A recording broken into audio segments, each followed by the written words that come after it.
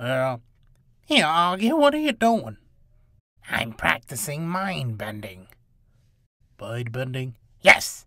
To see if I can get these trees to give me more of a cool breeze. That's ridiculous. You can't force nature. Bend towards my will. yep, I'm out of here. Have fun watching this episode, folks. Yeah, walk off. I'll show you guys the true power of mind bending to give me a cool breeze. Ah, yeah, here we go. That's the cool breeze coming on. Yeah, okay, okay, okay. I think you I think it's getting a little bit too much now. That's a little bit too much.